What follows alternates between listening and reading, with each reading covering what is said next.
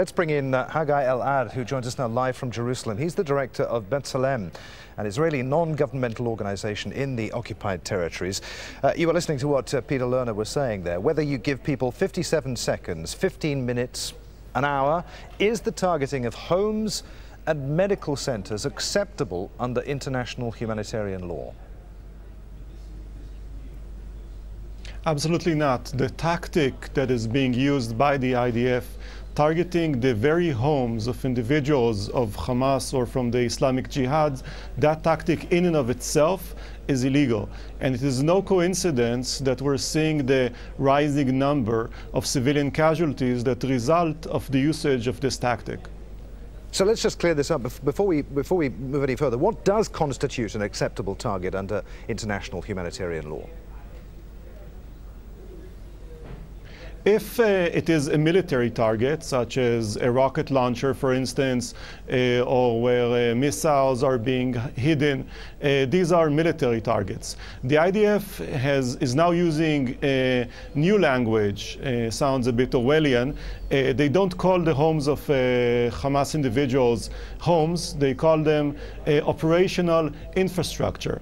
And according to IDF data that was published by the IDF spokesperson, approximately 10% of the number of uh, um, army strikes uh, in the first, I think, four days uh, of the operation in Gaza, about in, in, about 70 occasions, have been strikes against homes of uh, individuals of Hamas or from jihad. Now, what adds pain to injury, and in this case uh, adds casualties, horrific casualties in Gaza, uh, is the impl implementation of this, of this method. But even if it were to be used perfectly, quote unquote, I feel I'm using this language myself, that wouldn't deny the very illegality, according to international humanitarian law, of the very notion of going after the homes of these individuals. Uh, what are we to make of, of the so-called warning knock, uh, indicating that the Israeli army uh, knows that civilians may be inside a target, doesn't it? I mean, militarily, it, it, it defeats the object, surely. It is, you know, no, supposedly what we're seeing are precision strikes and, and so on, but you have to, one has to think about that term uh, and be reminded by, by the images that, that you've shown all of us uh, only a few, a few minutes ago and the terrible civilian casualties that we're seeing in, in Gaza. Um, sometimes there are also phone calls. Um, there is the, the warning shot. Uh, but we're talking about buildings that in many cases have a few, three floors, four floors. Uh, there is a number of apartments in the building. People don't necessarily always understand that the first uh, missile, the small missile, uh, is a warning.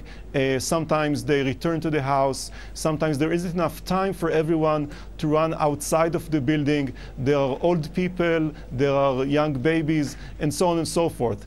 And what we're seeing is a rising number of instances in which terrible civilian casualties result of the usage of this tactic. And, and Hagai, just very briefly, because we're, we're running out of time here, what can organizations such as yours do to ensure that the Israeli army is, is held to account if, it's, if it does indeed breach humanitarian law?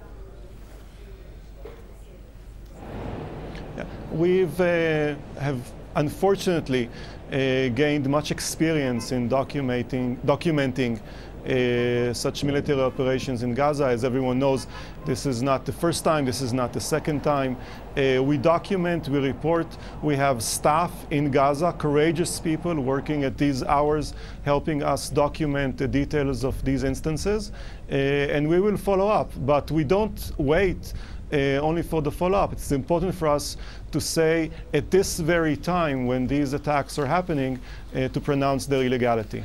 Hagai, good to talk to you. Many thanks indeed. Hagai Elad there from B'Tselem.